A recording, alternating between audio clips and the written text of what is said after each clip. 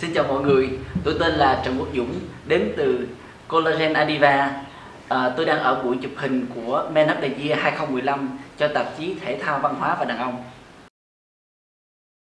Khi đó à, mình mới bắt đầu qua Mỹ để à, bắt đầu theo đuổi cái con đường học vấn và khi đó cũng chưa biết mình muốn gì đâu, cũng chưa biết là cái tương lai sẽ như thế nào nữa, chỉ biết phải đi uh, thử thách ở một nơi xa để uh, tìm thử coi mình đang muốn cái gì và cái đam mê mình là cái gì. Uh, và thời điểm đó thì uh, mình có rất là nhiều những cái cái cái cái đam mê có nhiều nhiều cái uh, ngành học để mà mình có thể học được. Lúc đó thì vừa học uh, marketing rồi học thêm kinh tế rồi học thêm cả tâm lý học nữa. Mình đã tìm được cái đam mê về làm đẹp để giúp cho mọi người trở nên đẹp hơn. Và khi đó mình đã tìm đến Aniva đưa ra được một thị trường một tinh chất làm đẹp là một sản phẩm giúp cho mọi người trở nên đẹp hơn tự tin hơn.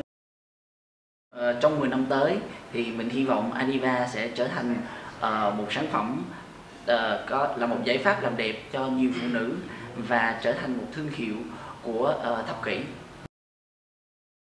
Khi xưa đàn ông chỉ cần uh, có giỏi tài năng có thể uh, gắn xây dựng gia đình là đủ.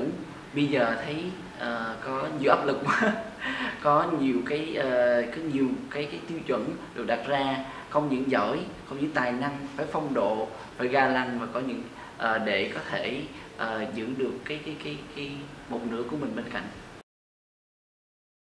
Nên là lý quang diệu bởi vì uh, là một người lãnh đạo hàng đầu thế giới là một người đã thực sự tạo ra sự thay đổi cho cả một đất nước.